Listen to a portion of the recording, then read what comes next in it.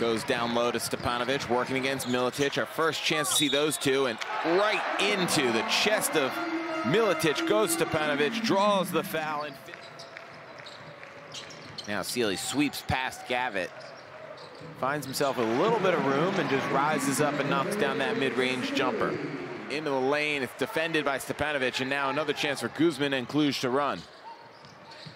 Jones into the paint, leaves it for Stepanovic, who finishes that floater and pumps his fist. Jones, Stepanovic in the top of the key. Stepanovic screens for Jones, then rolls nicely to the rim. Great two-man game between Jones and Stepanovic.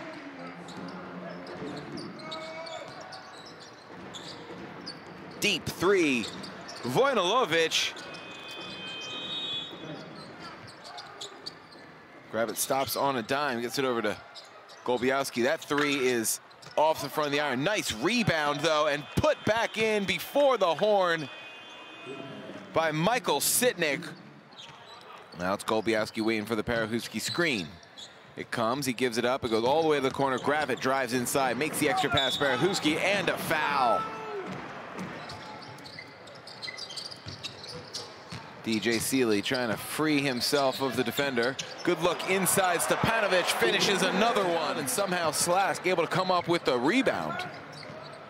Gravett beats his man off the dribble, gets into the paint and finishes the up and under layup. Nice finish there, Hassani Gravett.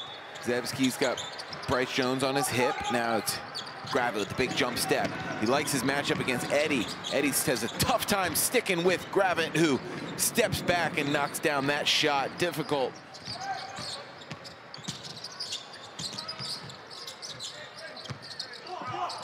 Mejeris downtown, down Broadway and throwing it down. Mareks Mejeris comes to life, brings his crowd to life after they deem that swipe of Makoko was what knocked it out of bounds. And so it's Slask with possession. Nice cut and finish from Michael Sitnik. it, the final shot of the quarter. Scooping layup up and in. Nice way to finish from Slask. A quarter that they finally, for the first time in this game, got the better. Miletic uses Gravett and feigns the screen for him before posting up down low. He had great position on Cate, and Gravett did a good job of finding them. Now Golubowski working against Seeley. Had him beat, takes it to the rack, but whistle came. But first, DJ Seeley working on Gravett. Stepanovic leaves for Richard. Now Gerald Eddy, the three. Got it!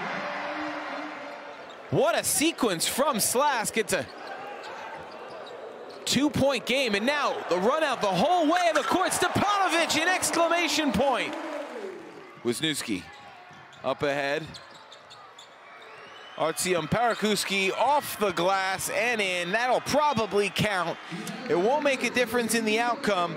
The scoreline will finish Cluj-Napoca 80, Slask Wroclaw 76.